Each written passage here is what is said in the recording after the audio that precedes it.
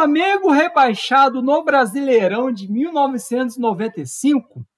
A primeira vez que eu ouvi falar sobre essa história foi num grupo de WhatsApp. Eu participava de um time de futebol e lá tinha um colega vascaíno, vascaíno, e numa dessas discussões aí de quem é maior, aquela coisa toda, ele veio e falou que o Flamengo foi rebaixado em 95 e que o Flamengo virou a mesa junto com a CBF, mudando o regulamento durante o campeonato. Aí eu falei, pô, mas que história é essa? 95 eu tinha 10 anos e já devorava futebol. Comecei ali com futebol ali em 92, mesmo ali torcendo de fato. Aí pesquisei. Aí achei a fonte da onde o Vascaíno tira, cara. Uma tal de Folha do Puba. dizendo que o Flamengo foi rebaixado em 95 porque a, o campeonato começaria com quatro rebaixados.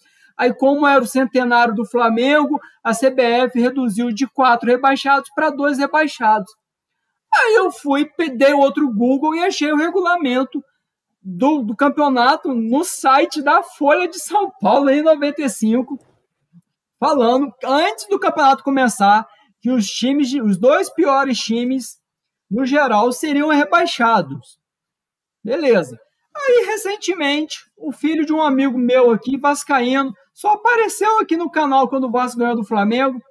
Aí, nunca, nunca falou comigo pessoalmente, mas adora aparecer aqui no canal para dar uma pentelhada. Aí, ele, recentemente, ele veio aqui na clínica e falou, ele, por coincidência, ele veio, veio no dia após aquela derrota para o Vasco. Ah, Daniel, tive aí, e, e, e não vi você, tal, assim. Eu falei, ah, beleza, volta aí segunda. Aí ele respondeu, só em 95. Eu falei, você tá de brincadeira, um vascaíno de 15 anos com essa história que o Flamengo foi rebaixado em 95. Aí eu fui, peguei o link da, do regulamento da Folha lá, que saiu, foi publicado no site da Folha em 95. Falei, fulano, dá uma lida aí, cara. Vocês que são Vasco planistas ficam inventando essa história introdução. Aí agora, hoje, o Milton Neves, o Milton Neves, no Instagram dele, pegou uma foto montagem como se o técnico do Flamengo na ocasião, que, é o, que era o radialista Apolinho, tivesse falado o seguinte, deixa eu achar aqui a informação aqui que o Mauro César Pereira levantou lá no Twitter, porque o Mauro César veio, cadê aqui? Pá, é, que vamos abordar o tema aqui, ó. Deixa eu, aqui, achei, ó. O, o, o Milton Neves, no Instagram dele, colocou a seguinte informação. Vou colocar aqui na tela. Pegou uma, pegou uma montagem como se fosse o Apolinho. Opa, aqui, ó. O Apolinho falando o seguinte: em 95, eu era técnico do Flamengo, tínhamos um elenco fantástico, com Sávio e Romário, e caímos para a Série B mas a CBF mudou o regulamento para cair apenas dois. Mudou o regulamento. Faltando duas rodadas. É uma vergonha na minha vida. Aí, uma montagem ali, como se o Apolinho tivesse falado isso. Aí, o que, que o Mauro César Pereira fez? A gente sabe que isso é mentira. Qualquer lugar que você entra, você consegue é, ver o regulamento lá no site da Folha. Deixa eu colocar aqui na gente no cantinho, Dácio. Aí o Mauro César Pereira foi a fundo nisso hoje novamente. Olha lá, vamos abordar o tema que o Milton Neves e o rebaixamento do Flamengo 95. Segue o fio. Aí o Mauro, aí o Mauro fala. Em sua conta no Instagram, com mais de 600 mil seguidores, hoje às 11h39 da manhã, Milton Neves publicou uma arte com foto do comentarista Washington Rodrigues, da Rádio Tupi, e uma frase atribuída a ele, que foi técnico do Flamengo em 95. Abre aspas, em 95 eu era técnico do Flamengo, tínhamos um elenco fantástico, com Sávio Romário caímos para a Série B, mas a CBF mudou o regulamento para dois times, faltando duas rodadas. É uma vergonha na minha vida. Olha lá, abaixo Apolinho narrador. Até nisso as informações estão erradas. O Apolinho, como é conhecido em 60 anos de carreira no rádio, foi repórter de campo e há décadas como comentarista. Ele nunca, nunca foi treinador. O senhor Milton Neves, ele não sabe nem o que. O senhor Milton Neves, me desculpa, mas ele está ficando gagá. Tá? Ele está ficando gagá. Se ele diz que o Flamengo teve uma das piores colocações no Brasileiro de 95, eu concordo plenamente com ele. O Flamengo, naquele brasileiro, ficou em 21 lugar. Tá? 21 lugar.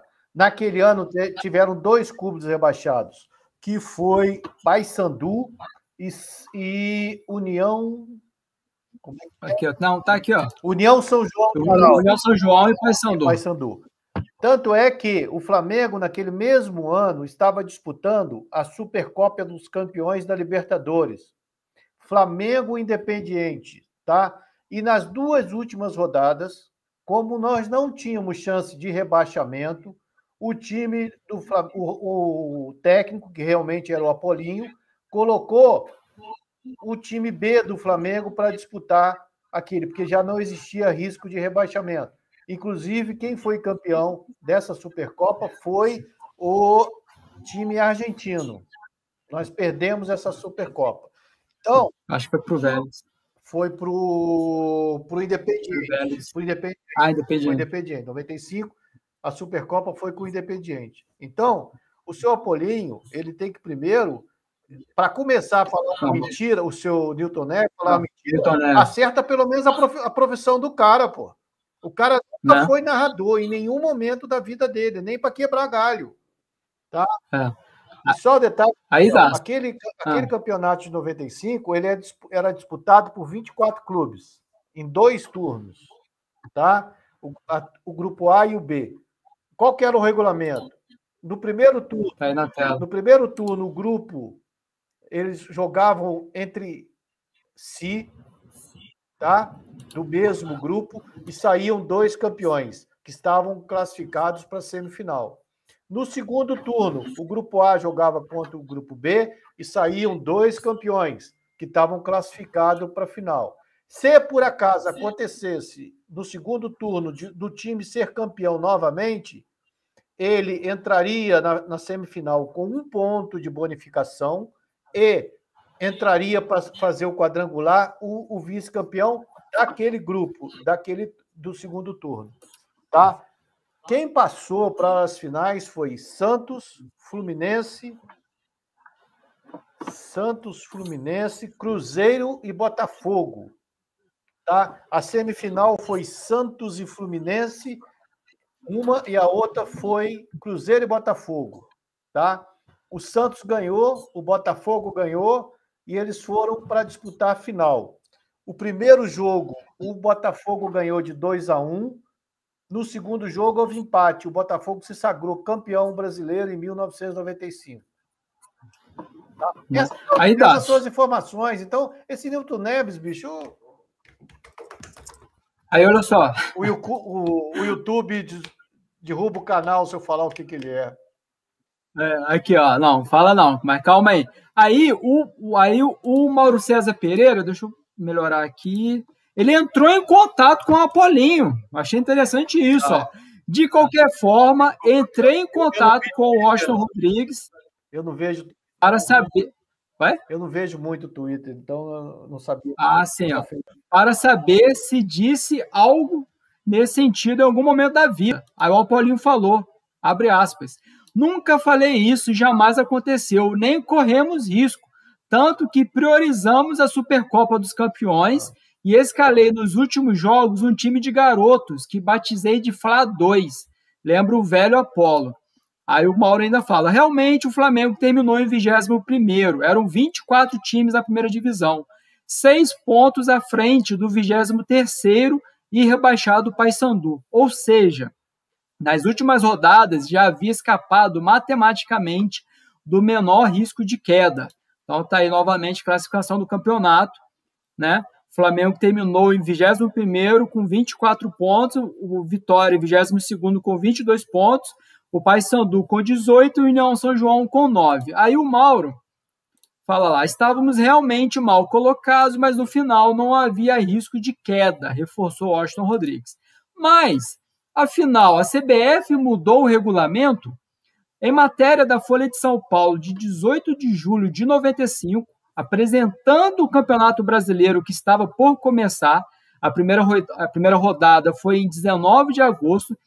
Registrou em seu oitavo parágrafo.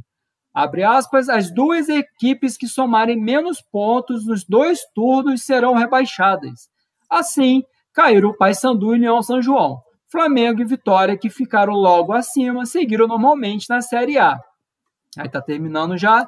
Sempre gostei do slogan Informação ao nosso esporte, meio deixado de lado por aí, mas sempre atual e bom antídoto contra fake news. Então, para finalizar, Flamengo não foi rebaixado. O Flamengo nunca foi rebaixado. Time grande não cai. Então vocês, Flamengo, ó, Vascaínos... São Paulo. Flamengo, Santos e São Paulo. São os únicos três que nunca caíram. É, deixar isso. Então o Flamengo é incaível, meus amigos, todas as vezes que surge, porque ó, eu não vejo ó, tricolor que foi bater lá na Série C. Eu nunca vi tricolor, tricolor falando isso, nunca vi Botafoguense falando isso. E as duas, e as duas únicas vezes que eu ouvi alguém falar isso foi o Vascaíno.